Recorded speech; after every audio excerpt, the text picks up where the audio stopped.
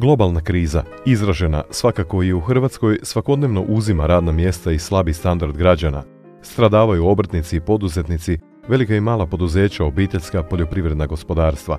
Stoga je svaka inicijativa želja da se aktualni problemi podijele s lokalnom vlašću, a u smjeru pronalaženja rješenja koja će održati i razvijati gospodarske subjekte, a samim time i radna mjesta, izuzetno hvale vrijedna.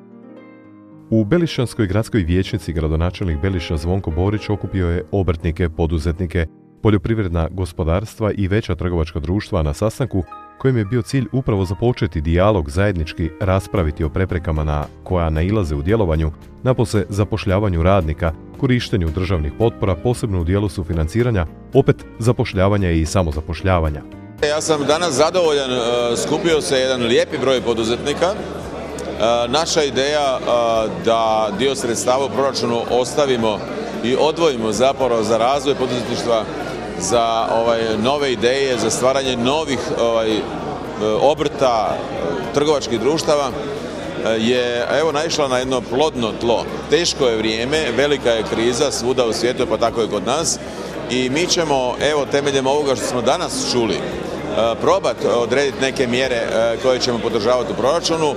Odredit ćemo naravno kriterije po kojima ćemo to dodjeljivati naćemo neke e, načine kako da se to kontrolira i evo, nadamo se da ćemo biti uspješni i da ćemo ipak otvoriti barem nekoliko radnih mjesta i ja smatram da svaki grad u obvezi, pa tako i mi, stvoriti preduvjete za razvoj poduzetništva.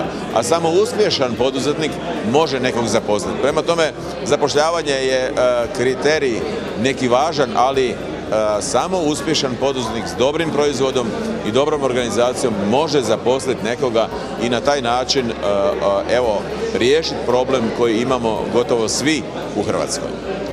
Beliš će naime u sljedećoj proračunskoj godini namjerava izvojiti znatna sredstva za potpore poduzetnicima i obrtnicima, a kako bi u kriznom razdoblju održali i povećali proizvodnju, otvorili radna mjesta, očuvali gospodarstvo Belišća.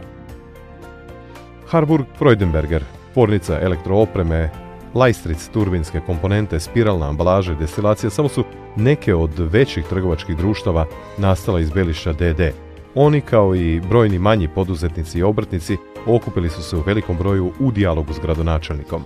Mislim da je dobra inicijativa, okupio je evo, veliki broj poduzetnika sa područja grada Belišća sa idejom da se snimi trenutna situacija kako je u gospodarstvu i da vidi šta grad može napraviti za male i srednje poduzetnike. Apsolutno podržavam to. Volio bih da se to stvarno više puta dogodi, da stvarno da se, što je rekao gospodin Sopek, da upoznamo jedni druge, da vidimo ko šta radi, ko se s čim bavi, da možemo jedni drugima nuditi svoje usluge, svoje proizvode i naravno samim time da se udružimo i da napravimo nešto konkretno po pitanju projekata po pitanju zapošljavanja novih ljudi, ali samo zajedničkim radom možemo to ostvariti. Mislim da imamo jako ogroman potencijal na području grada Belišća za napredovanjem, za stvaranjem, za otvaranjem novih radnih mjesta. Samo to trebamo iskoristiti. Inicijativu gradonačelnika pozdravljam i smatram da bi takvi dogovori, sastanci, nazovimo to radne grupe ili već radionice, trebali održavati najmanje jedan puta mjesečno. E, gospodarstvo u Belišću oslanja se na nekoliko velikih subjekata, e sad koje su potrebe jednih, koje su potrebe drugih, a grad tu može biti jedan jako dobar moderator sve skupa svih odnosa koje su u gradu. Ako se budemo e, nastavili razvijati ove prijedloge koje smo danas čuli, onda će sigurno biti efekati. Konstruktivnih ideja na sastanku nije manjkalo od sufinanciranja nabave softvera i opreme za fiskalizaciju, smanjenja komunalnog doprinosa, pomoći pri ishođenju potrebnih dozvola, Zanimljiv prijedlog je i korištenje potencijala u iskorištavanju šumske biomase i poljoprivrednih biljnih ostataka za proizvodnju energije iz obnovljivih izvora. Gradonačelnik je pozdravio ove ideje kao i brojne druge. Pa mi smo inače imali dosta sastanaka, ali očito je da je kriza sve dublja i vidite, danas nije bilo povišenih tonova, danas nije niko niko kritizirao, e, svi smo naprosto zajednički jednom sinergijom tražili rješenje e, da se izvučemo iz e, ovog trenutka u kojem se nalazimo i da naprosto preživi što veći broj tvrtki i da se zaposli što više ljudi.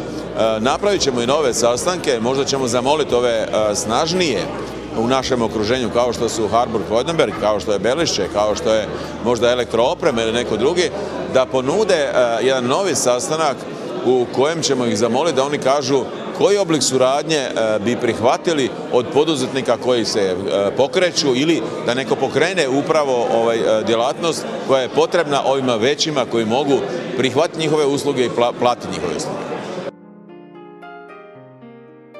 Napokon, valja znati i ovo, grad Belišće je prijavilo dosta projekata na natječaje fondova Europske unije, kroz koje će dobiti oko milijun eura, tako da postoji mogućnost odvajanja proračunskih sredstava za poduzetnike.